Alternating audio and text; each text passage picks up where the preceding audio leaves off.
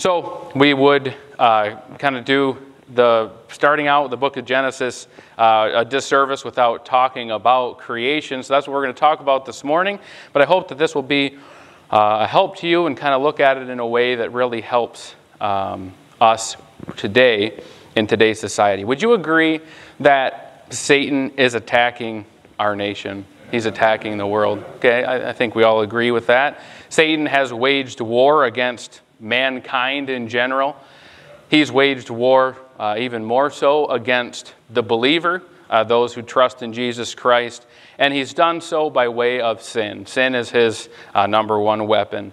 Satan has crept into our nation, a nation who, on uh, the day when we were uh, writing up documents and drawing up ideas of what our nation should look like, it was written and founded upon the Word of God and principles found in the Word of God. And our currency is stamped in God we trust. But uh, uh, that's become more of just a token than it really has been uh, an actual lived out in our lives, right?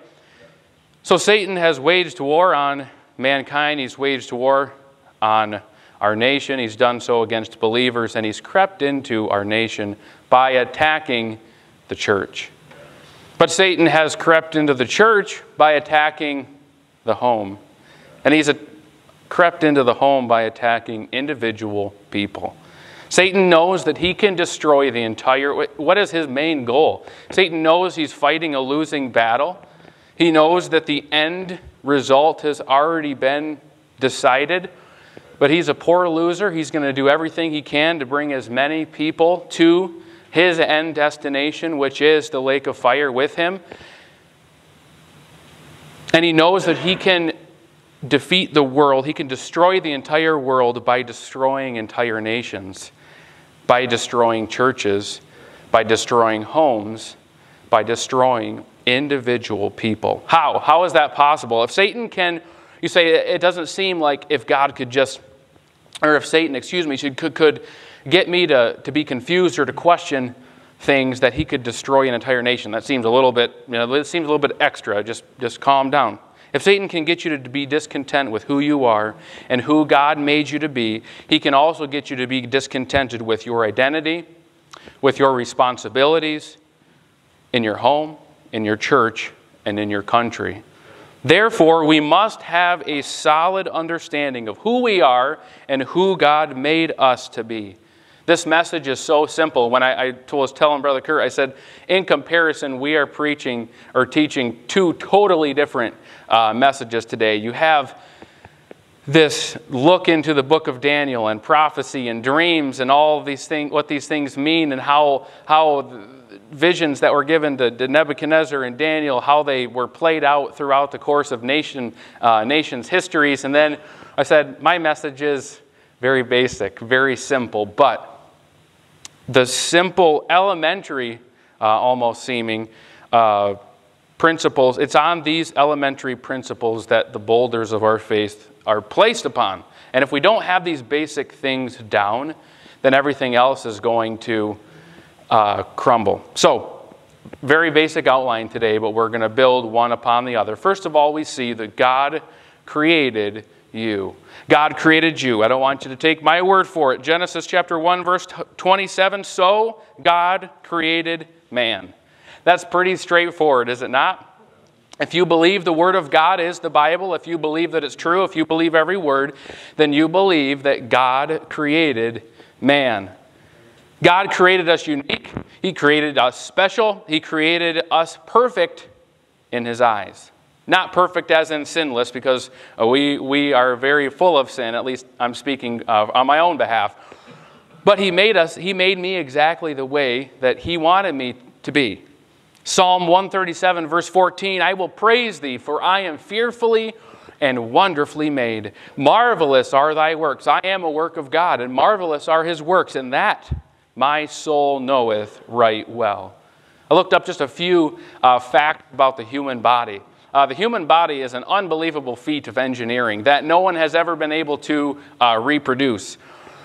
Did you know that your femur, your, your, your, leg, your leg bone, the biggest bone in your body, is, can support over 30 times your actual physical body's weight? and that ounce for ounce, your femur is stronger than steel. Did you know that if you were to uncoil your DNA, that it would stretch over 10, bil- 10 billion miles long? Long enough, if you were to take your DNA and stretch it out end for end, it would reach to Pluto and back. Did you know that the human body is an unbelievable, unbelievable feat of creation that only God uh, creating it could be explained? The brain contains, now some people it's give or take, but the brain contains 86 billion cells connected by over 100 trillion nerve connectors. Now, when you're a teenage boy, those connections have not fully connected yet, but they're there, and you're, you're hoping that at some point they will all come together, and at least a few of them will, will start to make connections. How many is that? Over 100 trillion nerve connections. That's more than the stars in the Milky Way galaxy. By 70 years old, you will drink over 12,000 gallons of water. Now, whether that water has been run through coffee grounds or not is up to be argued, but yeah, that's a lot of water. In a lifetime, you will produce over 25,000 quarts of saliva. That's enough to fill two swimming pools. That's a lot of. Uh, so, if you were to wring out your pillow every night, you could fill two swimming pools over the course of your life. This one is, is crazy, but it, it's uh, true. Everyone may vary a little. In your lifetime, your body will process around 100,000 pounds of food. If you take 365 uh, times three, generally everyone eats about a pound of food and water, at least at a meal. At least I, I know I, I do my pound for sure. Times 80, you're, you're pushing 100,000 pounds. The eye can distinguish over 10 million distinct colors, and your body is comprised of over 35 trillion cells. It takes less faith to believe in the beginning God created the heavens and the earth than it does to believe that nothing times nobody equals everything. If you believe the Bible and you believe the Word of God is true, then you just simply say, hey, I don't know how it all works, and that's okay, but I believe that God created me. I will praise thee, for I am fearfully and wonderfully made. Marvelous are thy works, and that my soul knoweth right well. So, first of all, we see that God created me, God created you. Number two, we see that God created you in his image. Let's look at our text verse again. So, God created man in his own image, in the image of God created he him oh boy there's some there's some pronouns we already know this is going to get uh, unpopular really quick i don't know that this is referring to the image talking about the image of god's physical body. If you were to flip over to John chapter 4, in fact, let's do that. John chapter 4, verse 24. John chapter 4, verses 24. We're talking about the fact that God created you. God created you in His image. John chapter 4, verse 24 God is a spirit, capital S. And they that worship him must worship him in spirit and in truth. Just a little tangent here. We, we talked about worship, uh, I think back in, in August, we were talking about it. Worship is simply the way that we take the, uh, worship is a gift from God, a goodness that we're able to reflect back to Him. That can be in many different ways in the way that we live our lives, as offering it as a living sacrifice, in praising Him, in thanking Him, in singing to Him. So many ways that we can worship God. But notice that God does not leave worship open to our interpretation. We say, well, I like to worship God. God says, God is a spirit, and they that worship him must worship him in spirit and in truth. The only way that we are able to worship God in a way that pleases him is when we worship him the way that pleases him. So we can't say, well, I'm going to do this and such, and this is my worship to God. If that doesn't fit under the the guidelines of what God accepts as worship, then you can do those things, but it's not worshipful to Him. God is never going to ask us to do something in worship or in our lives that go against Bible principles. That's just a little tangent there, but be careful that as you worship God, you say, well, this and such is my worship. Well, I worship God at home. I don't have to go to church. But God calls us to come together as the, as the united body. And, and if He asks us to do something and to worship Him in that way, then we have to worship Him in that way through our spirit because God is a spirit. And those that worship Him must worship Him in spirit and in truth. Well, what is truth? Sanctify them through thy truth. Thy word is truth. Okay, that was just a little free commercial. In His image I believe uh, more accurately talking about a Trinity. We know that God is a Trinity God the Father, God the Son, Jesus, God the Holy Spirit.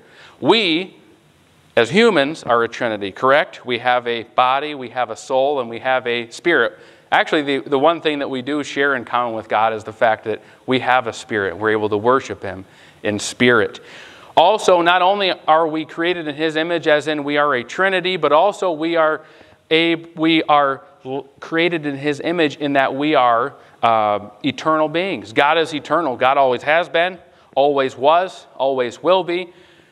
We haven't always been, but we are, and now we always will be. God is like a line. If you uh, are a, a geometry uh, major, you know that a line uh, has no beginning or end points. If you were able to draw a line on a chalkboard, as we teach in geometry, if the chalkboard was long enough, a line has no ending. It has an arrow on either end. It has no beginning origin and it has no ending point. A line is eternal. That is what God is like. He has no origin, He has no ending. We are like a ray. We have a beginning point, but we have no end point. Our life goes on forever, and when you die, you will spend eternity in heaven or hell. That is a fact. That's what the Word of God teaches. So we are eternal beings uh, like God. So we're created in His image, and that we're a Trinity, and in that we are eternal beings. Number three, God created me. God created me in His image. Now it's going to get really unpopular. God created male and female. Genesis chapter 1, verse 27. So God created man in his own image. In the image of God created he him, male and female created he them. There are only two genders, and that's how God designed it. If there was something else in the Word of God that taught otherwise, I would preach otherwise, and I would have no problem doing so.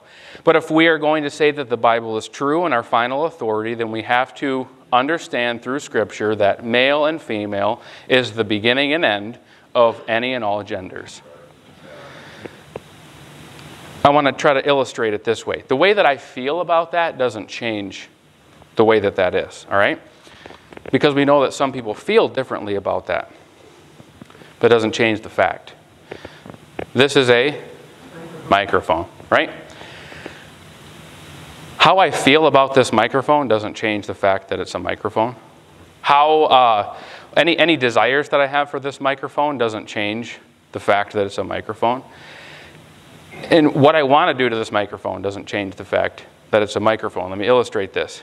What if I, my emotions tell me, well, I don't want this to be a microphone. I want it to be a guitar. Well, that's fine. I, I can want this to be a guitar all I want. It's not going to make very beautiful music. And uh, I could try to put some strings on it, but the fact of the matter is, at the end of the day, this is a, a microphone. My desires. Well, I really, I really want this. In fact, I need this to be a microphone. One of the kids jumped on and broke my guitar, and I got no way to play. Uh, for, for, so I, I, I, desire for this to be a microphone, it, or a, a guitar, excuse me. It doesn't change the fact that it's a microphone.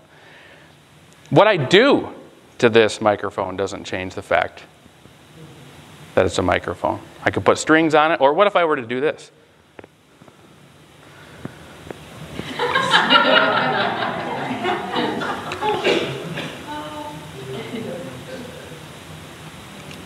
Seems pretty silly, right? Okay, now let's say this, and I'll use myself as an example. I'm a man. Okay? How I feel about the fact that I'm a man doesn't change the fact that I'm a man. My desires about being a man say, well, I really, I really wish that I was a woman. I don't at all. I am very glad that I'm a man, and I will, I will, well, we'll stay with that. Does even if I wanted to be a woman uh, the, in the worst way, my desire doesn't change the fact that God created me a man. What I do to myself doesn't change the fact that I'm a man. If emotions and desires and actions could change the facts, we would be in trouble, would we not? Emotions are the shallowest part of our being. They're fickle. We feel one way one day, we feel another way another day. Aren't you glad that emotions and desires and our actions don't change the facts of who God is and change the fact of His Word and change the fact of salvation? Because what if one day I felt like God wasn't trustworthy? Do my emotions about God change who He is?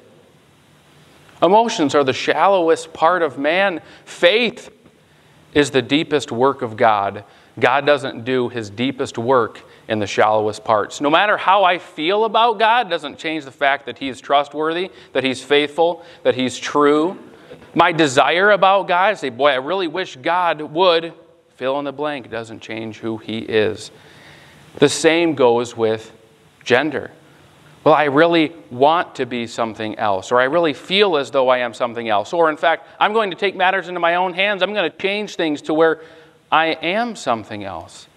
Doesn't change the fact of who you are. These are such basic principles, but yet, do you see how when we go away from the basic principles, we can confuse such a very simple, basic thing? God created me. He created me in his own image. He created male and female. Number four, God created man and woman to be together. Now we're going to flip over to Genesis chapter 2, verse 18. Genesis chapter 2, verse 18. And the Lord God said, It is not good that man should be alone. I will make him an helpmeet for him. I can picture maybe God was just tired of watching Adam spend the first part of his morning looking for his keys in his wallet before he went to the garden and he thought, I got to give this guy some help. He can't keep his head screwed on straight. Uh, he's never going to name all the animals if he can't even keep track of the book. He's lost it three times and had to start over. Uh, we need to get him some help. I say that in jest, but God looked down and said, This is not good. It's not good that man should be alone. So He created him uh, helpmeet. I'll tell the joke quickly, but it's been said God went to Adam and he said, Adam, I have a proposal for you. What if I were to get you somebody to help you? uh, that could uh, uh, to be a helpmeet to you. And Adam said, well, will you describe her a little bit? He said, well, she's going to be awesome. She's going to be beautiful. She's going to love you. She is going to just say wonderful things about you every day. He said, mm, tell me more. He said, she is going to cook for you, and she'll take care of the house for you, and she will when you have children, she'll take care of the children for you and she'll teach them. When, when you come home, you're going to have a spot ready on the couch with just a plate of steaming food ready and a cup of coffee. And it's just, you're going to have a great relationship. You're going to do things together. It's going to be so wonderful. Adam said, Wow, that sounds awesome. What's it going to cost me? And God said, Well, Adam, is going to cost you an arm and a leg. He said, Well, what can I get for a rib?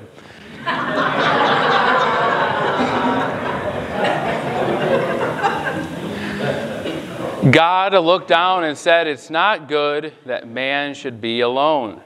I put some of the men in an uncomfortable position. I'm sorry. Uh, you've got to sit there with the elbow the rest of the, the message. It's all right. Uh, God made a helpmeet for Adam, and it was Eve. God did not create man to be with another man. The Bible says it is not good that man, man should be alone, and then he created Eve. If, if he would have wanted something else, I, I think he would have done that, right? God has the ability to create whatever he wants. He was starting with a blank canvas. So he gave Adam exactly what he needed. If he would have wanted him to be with an animal, there was already any number of animals there that, that could have worked. But God then didn't create another man, God created Eve. God did not make a man to be with a man, He didn't make a woman to be with a woman. He didn't make a man to be with an animal. He didn't make a woman to be with an animal. He didn't make a man to be with a child. He didn't make a woman to be with a child. If you, uh, if you look, now we have something called minor attracted adults. It's not pedophilia, it's not sin. It's just called a minor attracted adult that I looked it up on Google this morning that says it is a disease that is currently illegal. But what happens is we live in a society that wants to change the name of sin rather than just calling sin sin. In fact, the only sin in our society today, seemingly, is to call sin sin. It's not an alternate lifestyle, it's sin. It's not love, it's sin. It's not bestiality or, oh, well, I identify as a furry. It's sin. God created man to be with a woman, a woman to be with a man, and that's it.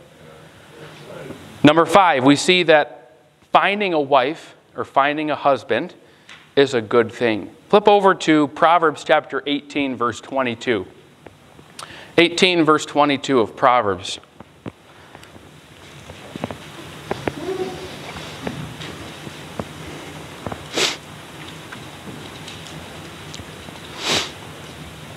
Proverbs chapter 18, verse 22 Whoso findeth a wife findeth a good thing and obtaineth favor of the Lord. And I am a testimony to that. I found a wife, I found a great wife, and she's a good thing. And I believe because of that, I have obtained favor uh, of the Lord. And all of you could uh, testify of that with your spouse, your husband, your wife. You, when you find a wife, when you find a husband, you find a good thing. That's the way that God designed it. Inside of God's plan, marriage is a beautiful thing and it works great.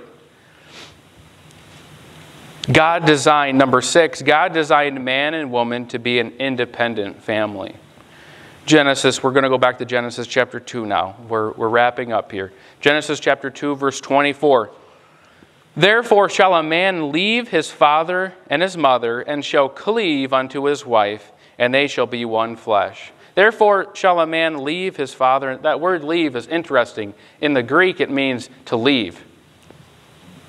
It means to leave, it means to go away. Uh, when you get married, you become an independent family. That's the way that God designed it. It means to cutteth the umbilical cordeth, and to be your own maneth, and to man up and be a wife. Or, to be a, a, husband to your wife and a, a wife to your husband, and to live independently. Mom and dad don't have a say, or at least shouldn't have a full veto say of what happens in the home, because God created Christ to be the head of the home with the man as the head of the wife, the wife as uh, sub- submissively following her husband, and the children under that. That's the way that God planned it and designed it. We say, I don't like that. Take that up with God. That wasn't my idea, right? And lastly, we see that God views a married man and woman as one. God views a married man and woman. Therefore shall a man, this is Genesis 2 4, 24, therefore shall a man leave his father and his mother, shall cleave unto his wife. That word cleave means to cling or adhere to. That reminds me of what I did when I first met Kara. I thought, wow, um, this is a good thing. Uh, I don't want to mess this up. So I just followed her around. I clung to her and I thought, I'm just going to annoy her into liking me. And uh, I did. And uh, I am still currently doing that 10, 11 years later. Um, shall leave his, uh, cleave unto his wife, and they shall be one flesh. I don't know exactly how this works, but I do know that God's word is true, and I know that God views a married man and woman as one. Mark chapter 10, verse 7. Flip over there. This is red letters. This is Jesus uh, talking. And he's simply reiterating what was already said uh, in the book of Genesis. Mark chapter 10, verse 7 For this cause shall a man leave his father and mother and cleave to his wife, and they twain shall be one flesh. So then they are no more twain, but one flesh. What therefore God hath joined together, let no man put asunder. Again, it doesn't matter what our thoughts about it are when we take the marriage vow and we say, I do, and uh, he says, Yes, ma'am. Then at that point forward, God views man and woman as one flesh. An illustration of this, this is the last passage I'll have you turn to, the book of Job, chapter 1. The book of Job, chapter 1, a very common story. We know that uh, Satan is walking about earth. He's watching things. He goes to heaven, and God says, Have you considered my servant Job? And, and God makes a mockery of God. In fact, Satan uh, asks God some insinuating questions. He says, Does Job serve you for naught? If you were to take away all of the blessings that you've given Job and take away your hedge of protection from Job, he would curse you to your face. And God said, That's fine. You can take everything from him, just don't touch him. Notice verse 12. And the Lord said unto Satan, Behold, all that he hath is in thine power Only upon himself put not forth thine hand. What was the one thing that Job had left when everything else was taken from him? There was Job and Mrs. Job. A beautiful example of when a man and woman come together, God said, Don't touch him. She was left. God views a married man and woman as one flesh. So, a very, very, very rudimentary, basic message today. But if we don't have these things hammered out into our life, all of the other seemingly gray areas of the world seem more difficult to understand and say, well, yeah, what about? What, I wonder if there are other genders. I wonder if, I wonder if any of these other things. But when we realize and go back to the very beginning of the book and understand that God created man, God created man in his image, He created male and female only. He created man and woman to be together. He created the husband and a wife as a good thing and to be married together, to leave their family, to operate as an independent family, and to be one flesh. A lot of these other quote unquote gray areas become very black and white, do they not? I just want to encourage you today. We can understand these things and we can share these things, and we can do so without being hateful. No one's ever hated someone or argued someone to Christ. We live in a world that's, that is, is is not headed in a direction that, that is, is very uh, pleasing uh, to me, sure not pleasing to God. It's not in accordance, in accordance with the Word of God. But there are a lot of people who do believe these basic things. Don't back down from these principles. Don't be ashamed or embarrassed for the fact that you believe that God created you and that He created you in His image and that He created you a man if you're a man and a woman if you're a woman, and the fact that, that you don't believe that a man should be with another man and vice versa. But don't be hateful about it either. That's where often we get off, and, and we're never ever going to hate someone to Christ. Or the two things that Jesus prayed for when he was praying to God for the believers was the love of Christ and unity. And we're never going to see the love of Christ and the unity go forth if we're, we're living with a heart of hate. But we have to settle the fact that these things are true. And if we believe these things, then we can start to stack the other principles found in the Word of God upon a very solid, sure foundation. So God created man.